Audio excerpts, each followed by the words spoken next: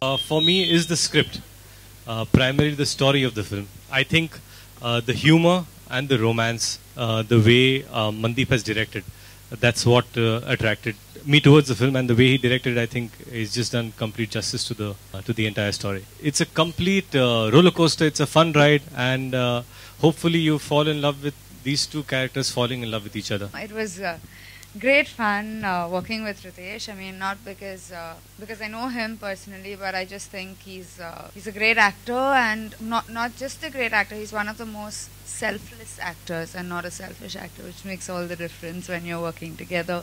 So yeah, it was a great time. We had a superb association with Tips in the past, and uh, we were very, very keen to continue it. So, from the time that I spoke to Kumarji about what we could do together in the future, and he showed me some of the uh, songs and the scenes from this film, uh, we knew that we just had to be associated with this film. The work that all three sitting on the stage have done in the film uh, is just superb, and uh, we were very, very excited from the first time that we saw it. We thought that we really would like to be associated. So, we are going to be working together to market and distribute the movie and to take it as uh, wide as possible.